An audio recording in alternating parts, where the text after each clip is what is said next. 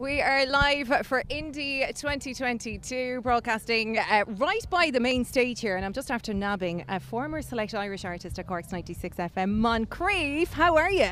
I'm very well. How are you? I'm really good. Are you uh, excited for your performance later on tonight? Yeah, I'm buzzing. This was like the festival I used to go to like a few years ago when I was before I moved to London. So yeah, it's it's good to be coming back to it. I'm not going to lie, I did sneak into your sound check a little bit earlier on and uh, I totally fangirled for a while. That was me in the corner, just like mouth open. That was me. Was that I, you? Yeah, that was you. All right. Come here to me. What a year you've had this year. It's just gone from strength to strength to strength. Yeah, it's been uh, it's been good to, especially after the last two years of sitting in my bedroom, to people actually and kind of questioning everything to people actually caring what you're doing. Like it's pretty, it's pretty cool. Because I remember hearing you first. You were a select Irish artist on Cork's 96 FM, and I remember thinking, "Oh my God, Yeah. that is a voice that's going to go places." And my God, how things have gone for you this year.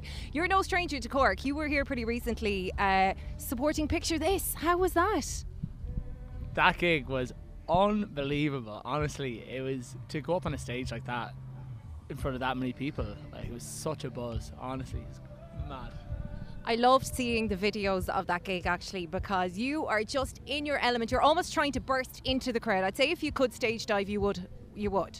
Yeah, I mean, unfortunately, I mean not unfortunately, but there's just it's a lot of young girls, so I don't think they'd be able to take my weight.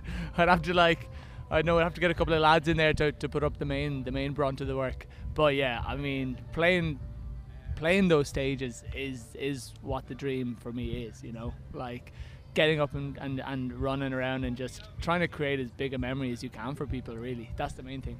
What is it like to hear a crowd of that size singing back lyrics that you've written in your bedroom? What is that feeling like? whatever drug you've tried it's way better than that like yeah it's really it's it is literally the probably the best feeling it's kind of like the opposite of um of, po- of PTSD but in a, in a really good way you don't process it until maybe a couple of days later you know I gotta write that down. It's the opposite of PTSD.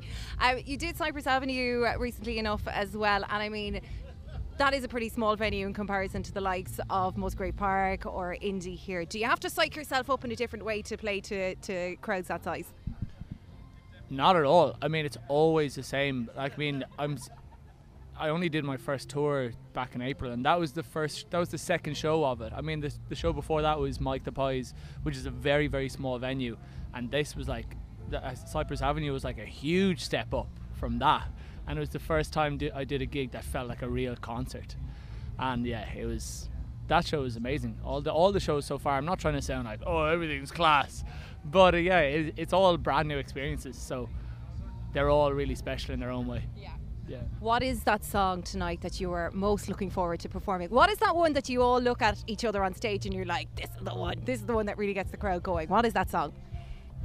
Well, like I mean, we've only released two songs from. Well, I've only released two songs from this current EP. So, um, warm people, people singing that back is always special. But there's there's a couple of songs. There's there's a song called Talk that's coming up on the new EP, and a song called Rewind, which um, I wrote in the depths of like lockdown depression, but seemed to make really interesting moments in the gig. So hopefully, if you're there, you'll you'll you'll see it. Hundred percent. Listen, an absolute pleasure to talk to you. Can I compliment your shirt as well? That is a fabulous shirt you are wearing Thank you today. very much. I appreciate it. Moncrieff, a pleasure. Best of luck with your performance later on tonight. Thanks so much for chatting to us this evening. Thank you very much. See you later.